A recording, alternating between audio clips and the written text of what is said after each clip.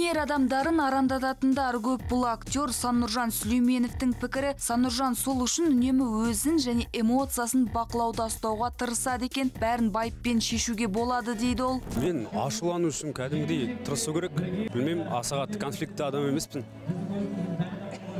Сөйлесуге болады ғой. Ал әнші кентал болса осыдан бірнеше жыл бұрын біреумен ерегессе бітті жұдырық ала жүгіретін мінезінің болғанын жасырмайды. Тіпті кейін келе осы әдет үшін ұялып өзін сабырға шақыруды үйренген. Мен негізі иә тез ашуланамын бірақ тез суып кетемін. Жас кезімізде әрине ондай енді ашулағанда бірден төбелесіп енді ер адамбыз ғой. Сондықтан бізде ондай ә, міндетті түрде болу керек.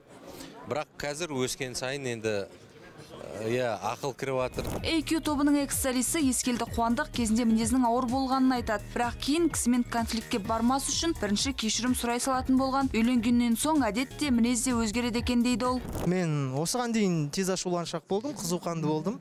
Ә, бірақ уақыт өте келе білмеймін. Өз өзімде бір ус- успокоение бар ә, өз өзімде сабырлық бар. Ә, мен қызуқанды емеспін. Осы уақытқа дейін адуынды мінезімен ел назарына іліккен жұлдыздардың ішінде қайрат нұртас төреғали төреәлі серік ибрагимов бар.